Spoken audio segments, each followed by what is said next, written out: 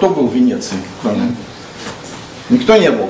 Но вы видели этот собор Святого Марка, главный, да? По экранам видели? Так вот, э, видели? Даже не видели на экранах. Так вот, в чем э, как бы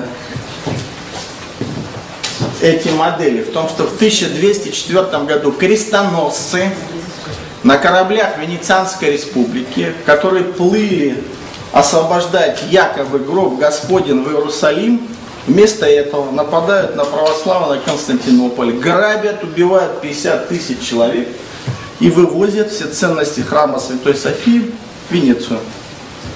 И сегодня это как бы фактически часть Святой Софии, но она построена-то на грабеже своих же, так сказать, христианских братьев, вместо того, чтобы освобождать гроб Господня, ну как бы эту духовную составляющую, они ограбили столицу Византии, и сегодня в основе, в общем-то, неправая цель. Нидерланды, где была создана первая биржа, ну Генуэзская республика. Генуя с другой стороны находится. На Куликовской битве генуэзцы участвовали на другой стороне воевали с Дмитрием Донским. Ну и вот, в общем-то, третий Карфаген – это Британская империя, которая с нами борется и сегодня по-прежнему э, воюет против России.